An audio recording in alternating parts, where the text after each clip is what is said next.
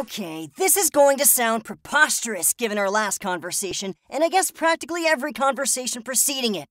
And I'm probably gonna have to do something completely disgusting like apologize. And even though I'll hate myself for it, I will totally mean it, I promise. Like, really, really mean it. You're going to ask me to join your team, aren't you? Yeah? How did you know? I don't seem to have much choice now.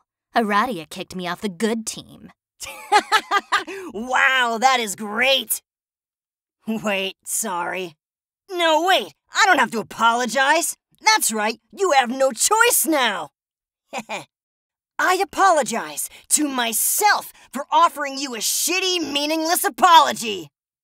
Apology accepted, Karkat. Let's bury the Thresher with a totally platonic bro bulge bump. bump! you dork. Do you really think your usual pedantic quips are going to bug me now? I'm not trying to bug you. I'm trying to get you to join my damn team. Now step in line, Serket. I was just betrayed and abandoned by my two accomplices and best pals, and on top of that, I am soaked in the blood of my lusus, which I just had to decapitate myself. So listening to a crabby asshole be all tickled with his own mediocre retorts isn't going to spoil my evening. Okay, well, sorry to hear about that.